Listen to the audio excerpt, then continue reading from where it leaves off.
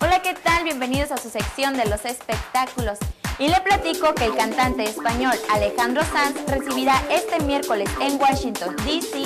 el premio Visión, gracias a su labor altruista y dedicación a las diferentes causas sociales en las que ha participado.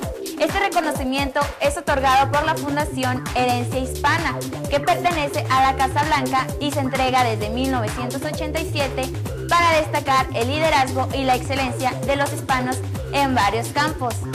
Por otra parte, y hablando del cine, la Cámara Nacional de la Industria Cinematográfica y Videograma informó que el filme No eres tú, soy yo, con Eugenio Derbez y Alejandra Barros, rebasó este fin de semana los 100 millones de pesos en recaudación de taquilla. Difícil de creer para un filme mexicano, pues enhorabuena para ellos.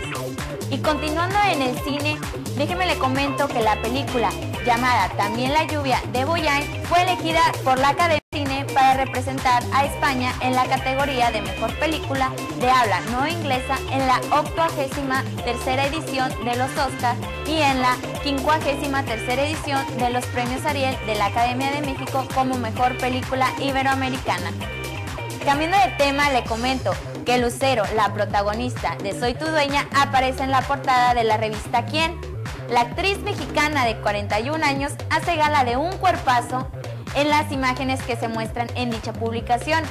A pesar de ser madre de dos hijos, sigue dando de qué hablar, más allá de su gran voz y su talento como actriz.